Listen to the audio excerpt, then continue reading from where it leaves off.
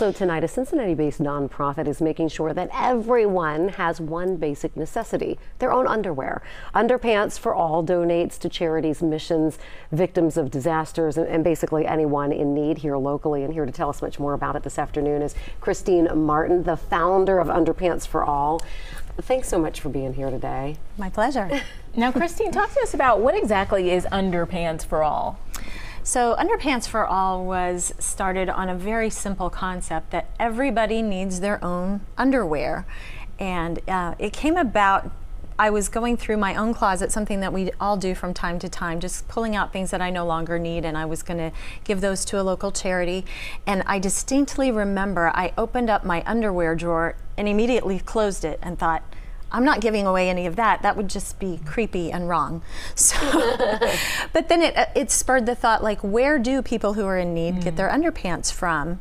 And around that same time, I was having um, a birthday party because I was having a birthday that ended in zero. and so rather than having people bring gifts to the party, I asked them to bring underwear. Wow. And so here they come into my backyard with thongs and tidy whities and underoos and everything that you can imagine. And we hung it all over the fence and we had such a good time. And then the next day, when we loaded it all up and took it over to um, the Healing Center in Springdale, we dropped our drawers, my family and I. We had 395 pair of underpants oh, in that oh. first drive. That's uh, it's really incredible, you know, for you to have that vision, and there is such a need out there. For you sure. know, you and I met at an, uh, an award ceremony, and as soon as I heard Christine's mission um, and story, I was like, we have to have you on the four o'clock show.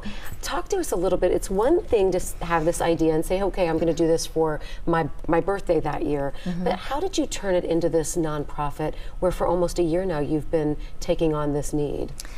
Yeah, so um, for about a decade, decade and a half, my family and I just sort of did this from time to time as we would hear about different needs that were in the community.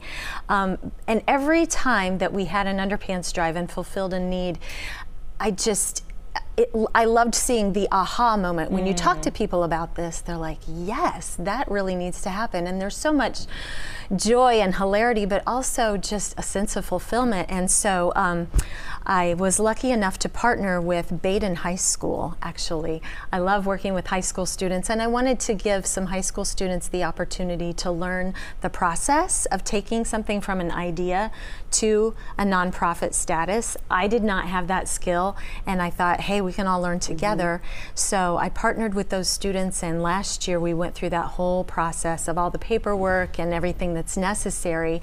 Um, and they're so creative. At the same time, they were doing under pants drives and fundraising. And so it was a really successful year, and that got us to the starting point. Mm, amazing. Mm -hmm. And what impact has the nonprofit made since it started? Well, we have been able to meet, um, again, just kind of some sporadic needs around the community. Over Christmas, we were able to donate, um, over, well, I lost track. It was well over a thousand, probably close to 2,000 pairs through um, partnering with some different agencies and things like that. Um, just yesterday, I visited Reach Out Lakota, which serves the Lakota School District, and I found out that their clients are only um, permitted to choose one pair of underpants a month because that's all that they have to give out. Mm -hmm. So we're looking forward to partnering with them and um, hopefully some other agencies just to fill that need. It's something that we don't think of, and yet everybody, of course, needs. I asked Christine right before she sat down, well, will you take bras too? Sure, if you want to give me a bra, that's fine. Anything, whatever helps out. Bring Christ it on. Christine Martin, thanks so much for being here with us. We really appreciate it uh, with Underpants for All. And by the way, you can learn much more on how you can donate at underpantsforall.org. Yeah, thanks again, Christine, for the bright idea and just being there for people when they need it. All right, let's yeah. send things over right now to meteorologist